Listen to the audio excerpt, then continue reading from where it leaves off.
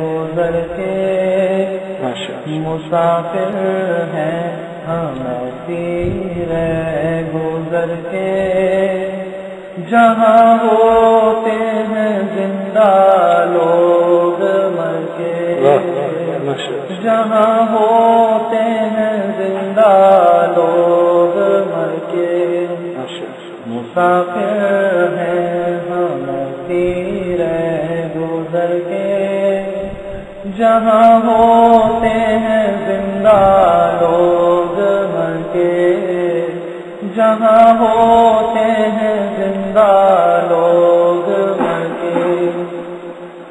جو چلتے ہیں تو ان قدموں کے نیچے، جو چلتے ہیں تو ان قدموں کے نیچے۔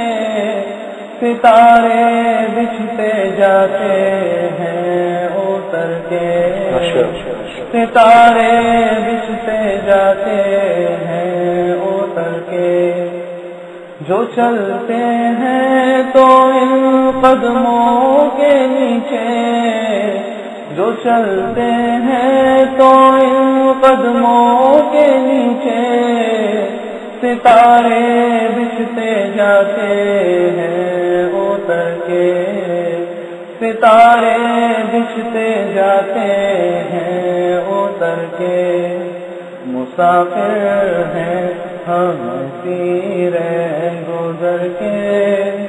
جہاں ہوتے ہیں زندہ لوگ مر کے۔ جہاں ہوتے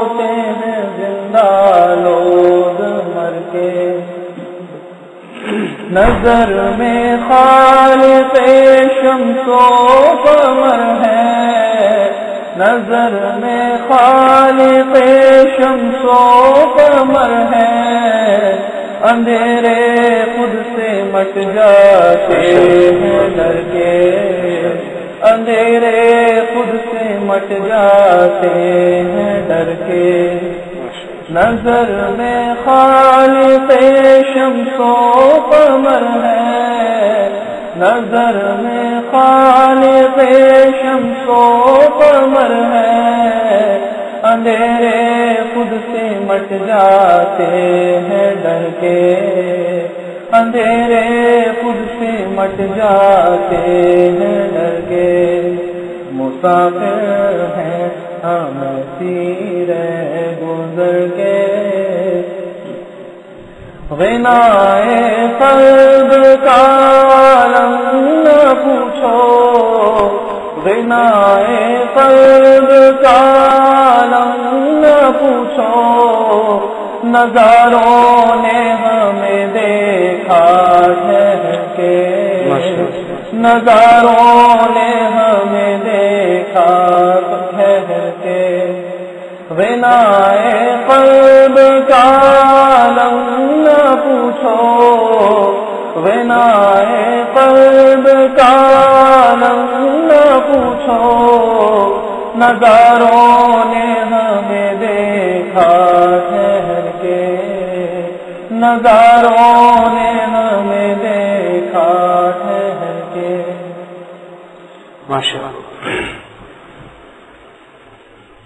نحمده ونصلي ونسلم على رسوله الكريم.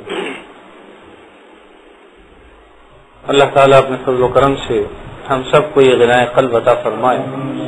جس آدمی کے دل میں یہ غنا آ گئی تو بلا شک و شبہ لوگ حیرت سے اس کو دیکھتے ہیں۔ صحابہ کرام نے اپنے آپ کو منوایا۔ دنیا کی تجویز جتنی انہوں نے کی، اپنے قدموں میں پامال کیا، شاید ہی کسی نے کیا، کہ دنیا ان کے پیروں میں آتی تھی اور وہ ٹھکرا دیا کرتے تھے۔ تو یہ غنا قلب کی وجہ سے۔ کیونکہ حدیث شریف میں آتا ہے کہ مالداری سے غنا نہیں ہوتا۔ اصل قلب کی غنا جو ہے وہ قلب کا ہے۔ مالداری قلب کی ہے۔ اگر قلب غنی ہے تو پھر غنا ہے۔ واقعات وہ غنی۔ لیکن اگر قلب میں جو ہے وہ غنی نہیں ہے غنا کا مطلب یہ ہوتا ہے کہ آدمی مالدار ہو، دوسروں سے بے پرواہ ہو، جس کے پاس مال ہوگا وہی بے پرواہ ہوگا۔ تو دوسرے آدمی کو جب کہتے ہیں کہ یہ مستغنی ہے اس کا مطلب یہ ہوتا ہے کہ اس کو کسی کی احتیاط نہیں، یہ کسی کی پرواہ نہیں کرتا۔ تو غنی کو بھی غنی اسی لیے کہتے ہیں کہ اس کو کسی کی احتیاط نہیں ہوتی۔ اس کے پاس اتنا مال ہوتا ہے کہ وہ کسی کے مال کی طرف نظر نہیں کرتا۔ اسی طریقے سے جب انسان کے قلب میں ہی غنا آ جاتا ہے، تو گویا وہ اس کا قلب مالدار ہو جاتا ہے۔ جب قلب مالدار ہو گیا تو پھر وہ کسی اور کی طرف دیکھتا نہیں ہے۔ تو یہ اس لیے کہا کہ غنا قلب جو ہے یہ اصل چیز اور جب آدمی اللہ اور اس کے رسول کے احکام پر چلنے کی کوشش کرے گا اور ساری دنیا دوسری طرف چل رہی ہوگی یا کسی اور طرف چل رہا ہوگا، تو یقیناً پھر لوگ اس کی طرف حیرت سے دیکھیں گے کہ یہ اس دنیا کی مخلوق تو معلوم نہیں ہوتی۔ اس دنیا کا باشندہ تو کم از کم لگتا نہیں۔ اس لیے کہ ساری دنیا کہہ رہی ہے کہ اس طرف چلو گے تو ٹھیک ہے، یہ کہہ رہا نہیں، اس طرف چلو تو ٹھیک۔ تو اسی کو کہا کہ غنا قلب کا عالم نہ پوچھو۔ نظارے نظارے حالانکہ خود اس قابل ہوتے ہیں کہ انہیں دیکھا جائے۔ لیکن یہاں نظارے خود دیکھ رہے ہیں اس کا نظارہ کر رہے ہیں۔ ہونا تو یہ چاہیے کہ آدمی نظاروں کا نظارہ کرے لیکن یہاں اتنا غنا قلب ہے کہ نظارے خود اس کا نظارہ کر رہے ہیں۔ اس قدر غنا انسان کی طبیعت کے اندر پیدا ہو جائے اس کو یہاں پر بیان کیا گیا ہے۔ اور اصل حقیقت یہ ہے کہ جو شروع میں جو بات کہی گئی ہے کہ مسافر ہیں ہم ایسی راہ گزر کے، جہاں ہوتے ہیں زندہ لوگ مر کے۔ حقیقت بھی یہ ہے کہ آدمی جو آدمی اپنے آپ کو مار دیتا ہے، حقیقت میں وہ زندہ ہو جاتا ہے۔ مرنے کے بعد زندگی ہے ویسے بھی۔ یعنی ایک تو یہ ہے کہ ہماری زندگی عارضی ہے۔ اللہ تعالیٰ نے ہمیں امتحان کے لیے بھیجا ہوا ہے۔ اور جب موت آ جائے گی تو اس کے بعد اصل میں یہ موت یہ مطلب نہیں ہے کہ آدمی ختم ہو گیا، ختم نہیں ہوا۔ جو آدمی پیدا ہو گیا اس نے کبھی نہیں مرنا، یاد رکھیے یہ بات۔ یہ میں پہلے بھی عرض کر چکا ہوں۔ جو دنیا میں آیا ہی نہیں نہیں آیا۔ لیکن جو ایک دفعہ آ گیا تو دنیا سے جائے گا ضرور، لیکن مرے گا نہیں۔ ہاں انتقال ہوتا ہے۔ ایک عالم سے دوسرے میں، دوسرے سے تیسرے میں، تیسرے سے چوتھے میں عالم دنیا سے، عالم برزخ میں، عالم برزخ سے، عالم آخرت میں، عالم آخرت سے، عالم میشر میں، عالم میشر سے پھر عالم جنت میں یا عالم دوزخ میں مرے گا نہیں۔ دیکھیے، دوزخ میں ہے تو بھی ہے تو صحیح نا۔ چاہے وہ عذاب ٹھہرا ہے، مصیبتیں اٹھا رہا ہے، لیکن ہے۔ جنت میں ہے تو نعمتوں میں ہے، لیکن ہے۔ تو جو ایک دفعہ آ گیا، اس میں ختم نہیں ہونا کبھی بھی۔ بس یہ بات ذہن میں رکھیں۔ لیکن دنیا کے اندر مرنا اصل میں اس کو کہتے ہیں اصل میں مردہ اس کو کہتے ہیں جو بالکل لاش کی طرح، جس میں دم خم نہ ہو، جو اپنے آپ سے مکھی بھی نہ اڑا سکے، مچھر کو نہ ہٹا سکے، اس کو کہتے ہیں مردہ۔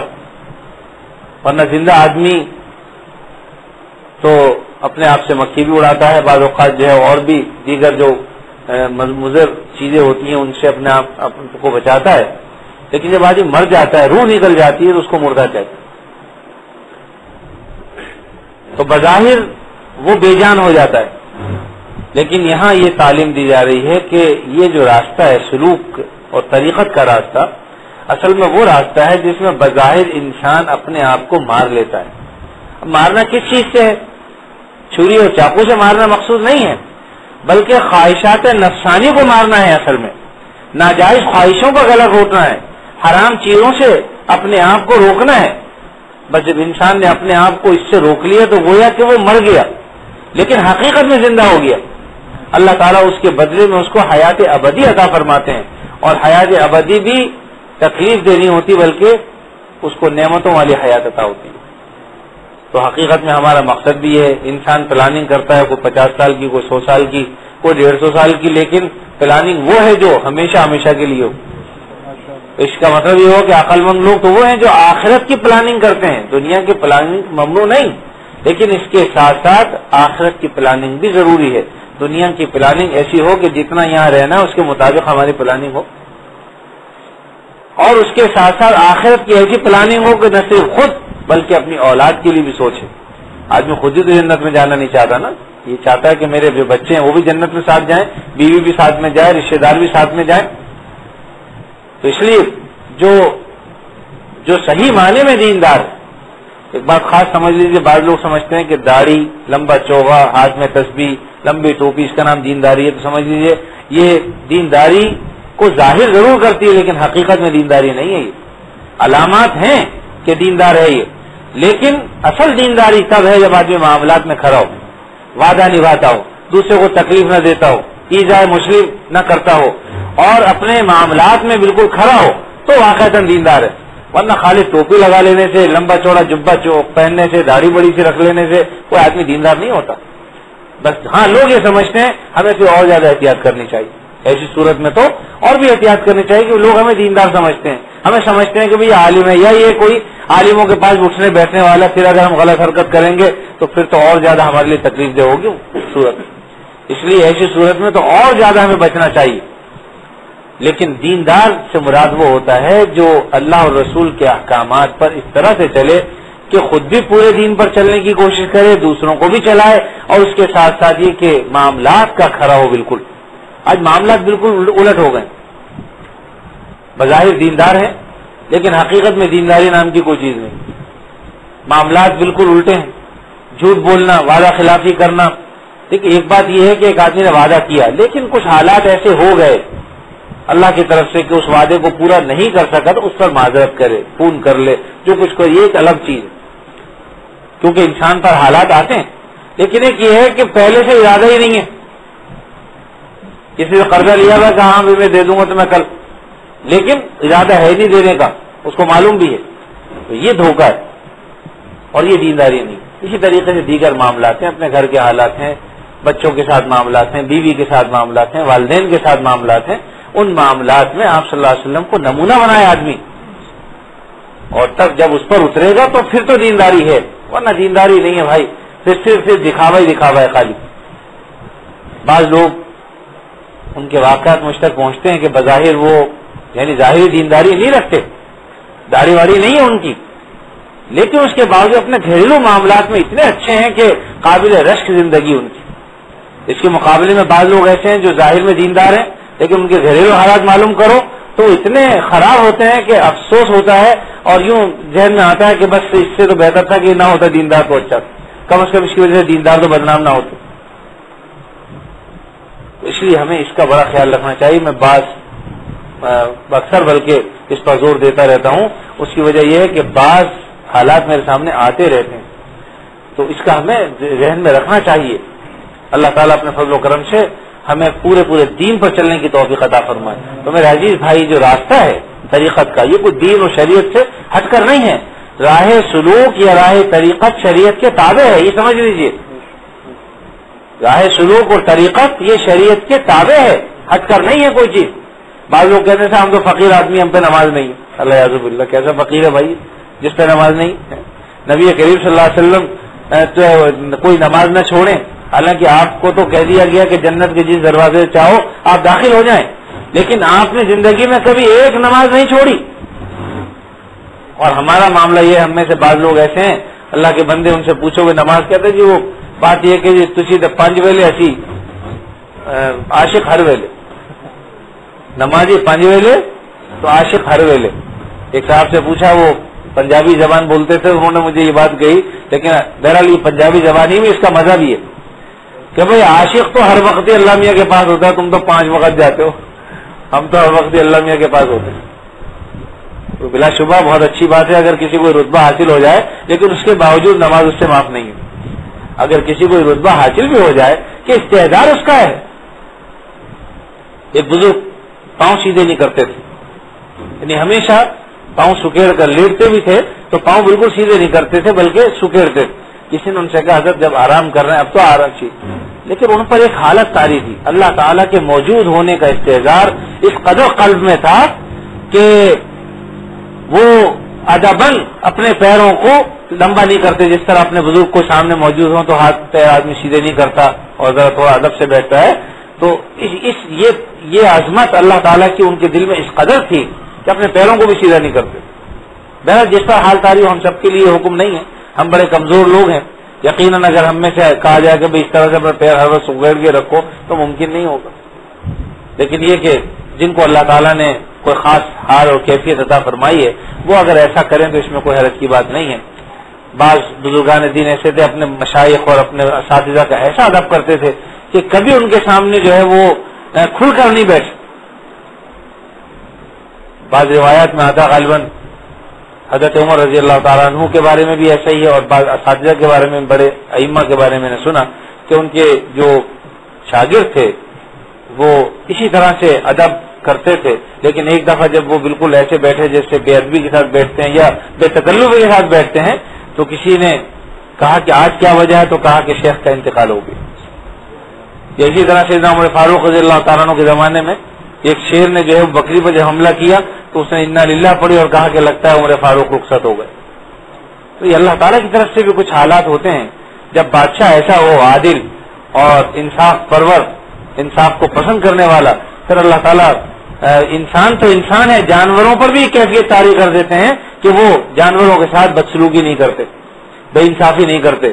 لیکن اگر بڑا ہمارا ایسا ہو جائے تو پھر چھوٹوں تک میں یہ چیز شرائط کر جاتی ہے۔ آپ نے دیکھا ہوگا عام طور پر مختلف بادشاہوں کے ادوار گزرے ہیں، خلافہ گزرے ہیں۔ کوئی خلیفہ اگر بہت زیادہ نیک اور عدل انصاف والا تھا، تو رعایا میں بھی یہ چیز صلاحیت کر گئی۔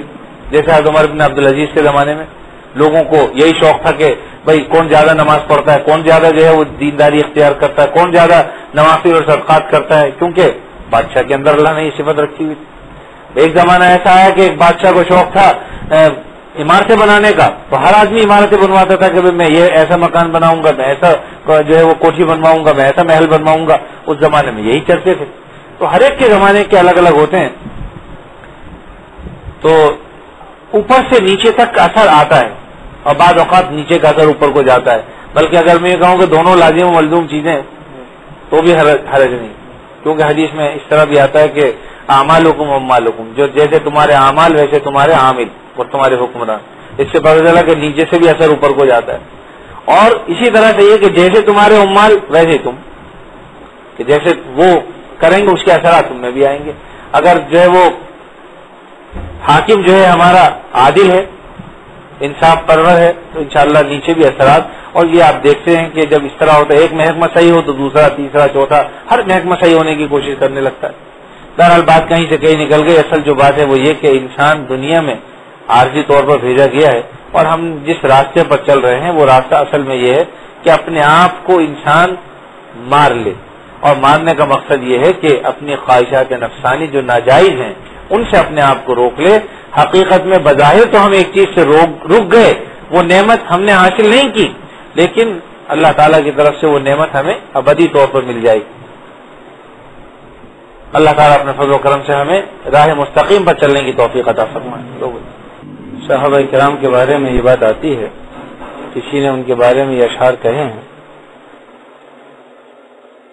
پہلا مصرا مجھے اس وقت ذہن میں نہیں آ رہا، لیکن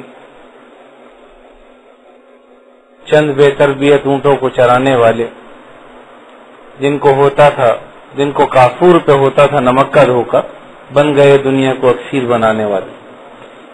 یہ اللہ کے نبی صلی اللہ علیہ وسلم کی کرشماتی شخصیت تھی۔ کہ چوروں، رہزنوں اور ڈاکوؤں کو کہیں سے کہیں پہنچا دیا۔ جو لوگ قافلوں کو لوٹ لیا کرتے تھے، لوگوں کو قتل کرنا ان کے لیے آسان کام تھا۔ چھوٹی چھوٹی سی باتوں پر سو سو سال تک لڑنا معمول تھا۔ اگر ایک شخص کے کھیت میں کسی کا اونٹ چلا گیا اور اس بات پر جنگ چھڑ گئی تو بعض اوقات سو سو سال تک وہ جنگ جاری رہتی۔ ختم نہیں ہوتی۔ تو ایسے معاشرے کی اصلاح نبی کریم صلی اللہ علیہ وسلم نے فرمائی۔ پھر اللہ کے نبی صلی اللہ علیہ وسلم کے صحبت میں کی صحبت میں جو آ گئے، اللہ تعالیٰ نے وہ تاثیر ان میں بھی منتقل فرما دی اس وقت سے لے کر یہ سلسلہ جو اب تک چل رہا ہے اور انشاءاللہ قیامت تک چلے گا جب تک اللہ کو منظور ہوگا کہ لوگ صحبتوں سے فیضیاب ہوتے رہیں گے۔ راہزن راہبر بنتے رہیں گے۔ چور، ڈاکو، یہ محافظ بن جائیں گے۔ لیکن اللہ کے نیک بندوں کی صحبت۔ سے تو یہ جو ابھی نظم پڑی ہمارے بھائی اقبال صاحب نے، حضرت طائف صاحب کا کا نام تھا۔ اور حضرت شاہ کی محمد اختر صاحب دام درکاتم العالیہ اپنے شیخ کی مدح میں انہوں نے یہ اشعار کہے۔ تو بلا شک و شبہ انہوں نے جو کامل مرشد کی صفات بیان کی ہیں کہ راہزن کو راہبر بنا دے، یہ صفات ہیں کہ اللہ کے نیک بندوں کی صحبت میں ایک آدمی ڈاکے ڈالتا تھا، چوریاں کرتا تھا، بدکاریاں کرتا تھا، لیکن سب کام چھوڑ چھاڑ کر اور اللہ کی طرف آ گیا، اللہ کے احکامات پر، اس کے رسول کے احکامات پر چلنا شروع کر دیا۔ اس سے بڑی اور کرامت کیا ہوگی؟ کوئی ہواؤں میں اڑنا کرامت نہیں کہلاتا، یا سمندر پر چلنا کوئی کرامت نہیں کہلاتا۔ یہ کام تو مچھلی اور پرندوں کا ہے۔ مچھلیاں بھی چلتی ہیں۔ اگر کوئی پیر اس کو کہتا ہے کہ پانی کے اندر وہ تیرتا ہے یا چلتا ہے تو مچھلی بھی تیرتی ہے بھائی۔ کوئی اگر یہ کہے کہ کوئی فضاؤں میں اڑتا ہے تو مکھی بھی اڑتی ہے، مچھر بھی اڑتا ہے۔ تو کوئی ایسے کمال کی بات نہیں۔ کمال کی بات یہ ہے کہ آدمی اپنے اندر انقلاب پیدا کرے۔ اگر ہمارے اندر منفی صفات تھیں تو مثبت صفات پیدا ہو جائیں۔ اگر ہم خراب تھے تو اچھے بن جائیں۔ اگر ہم میں برائیاں تھیں تو اچھائیوں میں تبدیل ہو جائیں۔ بس یہ خوبیاں اگر آدمی اپنے اندر لے آئے تو یہی چیز ہے انسانیت۔ فرشتوں سے بہتر ہے انسان بننا، مگر اس میں ہوتی ہے محنت زیادہ۔ انسان بننے میں بڑی محنت لگتی ہے۔ اور انسان کامل بھی وہی بنتا ہے جو دین پر چلے۔ ورنہ آدمی سے اعتدال، آدمی حد اعتدال میں رہتا نہیں۔ اس لیے حد اعتدال میں تبھی رہ سکتا ہے جب آدمی کو دین کی سوجھ بوجھ ہوگی۔ اللہ تعالیٰ اپنے فضل و کرم سے ہمیں بات کو سمجھنے کی اور دین پر عمل کرنے کی توفیق عطا فرمائے۔ یہ باتیں تو اشعار کے حوالے سے تھیں۔ چند منٹ میں اور میں دو چار باتیں کر لوں اور وہ باتیں ہوں گی ماہ سفر سے متعلق۔ آپ جانتے ہیں کہ محرم کے آج انتیس سے ممکن ہے، چاند نظر آ گیا ہو یا نہیں آج نظر آیا تو کل آ جائے گا۔ سفر المظفر کا مہینہ شروع ہونے والا ہے اور سفر خیر بھی کہتے ہیں اس کو۔ لوگوں نے اس کو منحوس مہینہ سمجھ لیا ہے۔ چنانچہ ہمارے ہندوستان میں اور وہاں سے جو لوگ یہاں آئے، ان میں اس مہینے کا نام ہے تیرہ تیزی کا مہینہ۔ پہلی تاریخ سے لے کر تیرہ تاریخ تک، کہتے ہیں جی بہت ہی منحوس گھڑی ہے لمحات ہیں۔ علیہ اللہ اور بعض بعض نے تو یہاں تک ظلم کیا کہ باقاعدہ کتابوں میں روایات کی روایات گھر ڈالی۔ اور یہاں تک لکھ بیٹھے کہ سارے سال میں دس لاکھ اسی ہزار بلائیں نازل ہوتی ہیں، ان میں سے نو لاکھ بیس ہزار سفر میں نازل ہوتی ہیں۔ اور نہ جانے کیا کچھ، اپنی طرف سے گھر کر لوگوں کے سامنے پیش کر دیا اور پھر اس کے بعد انبیاء علیہ مسلاط والسلام تک کو بھی ملوث کر دیا کہ صاحب، فلاں نبی جو ہے وہ اس میں بیمار ہوئے، فلاں نبی پر یہ مصیبت آئی اس مہینے میں، فلاں کا انتقال ہوا اس مہینے میں، اب کیا مرنا؟ کہ اس مہینے میں تو اور مہینوں میں نہیں مرتے لوگ؟ لیکن بات وہی ہے کہ جس کے ہاتھ میں قلم ہو تو وہ جس جیسے چاہے تصویر بنا دے۔ اس لیے لوگوں نے جو تصویر بنا کر پیش کی ہے ہمارے سامنے، وہ یہ کہ اس مہینے کو انتہائی منوس قرار دیتے ہیں۔ پھر بعض لوگوں نے اپنے طور پر کچھ نوافل گھڑ لیے کہ اس میں ایسے نفلیں پڑی جائیں اور اتنا اتنا اگر پڑھا جائے تو نوزت دور ہو جائے گی۔ اور بعض نے جناب یہ بتایا کہ صاحب وہ چنے جو ہے وہ ابال کر وہ تقسیم کیے جائیں۔ بعض نے کہا گھونگیاں بنا کر جو ہے وہ بانٹی جائیں۔ اور نہ جانے کیا کچھ۔ بہرحال اس مہینے میں بھی لوگ شادی، بیاہ اور مسرت کی چیزیں، کسی چیز کا افتتاح کرنا، حتیٰ کے مکان خریدنا، یہ سب چیزوں سے رک جاتے ہیں۔ آج مجھے ایک اسٹیٹ والا بتا رہا تھا، اتفاق سے میرے پاس آیا ہوا تھا، تو کہنے لگا کہ جی وہ پراپرٹی کی جو قیمتیں ہیں، محرم اور سفر میں نیچی رہتی ہیں۔ کیوں؟ یہ بہت منوس مہینے ہیں۔ اس لیے مکان نہیں خریدتے لوگ، کہ کہیں چلے گئے تو کچھ ہونا جائے۔ اللہ تعالیٰ معاف کرے، سب جاہلانہ باتیں ہیں، باطل چیزیں ہیں اسلام و شریعت میں اس قسم کے جو ہے تباہم اور اس قسم کی چیزوں سے اسلام نے روکا ہے۔ زمانہ جاہلیت میں آپ صلی اللہ علیہ وسلم کے زمانے میں بھی اس سفر کو منہو سمجھتے تھے۔ تو آپ صلی اللہ علیہ وسلم باقاعدہ اس کے بارے میں احکام جاری فرمائے اور یہاں تک فرمایا کہ یہ سفر کا کو منوس خیال کرنا اور اسی طریقے سے الو کا منوس خیال کرنا اور دیگر چیزیں، اس کی کوئی حقیقت نہیں۔ تو آپ صلی اللہ علیہ وسلم باقاعدہ سفر کا نام لے کر ذکر فرمائے۔ بعض لوگوں نے یہاں تک گھر دیا کہ یعنی یعنی آپ صلی اللہ علیہ وسلم کی طرف اس بات کو منسوخ کر دیا۔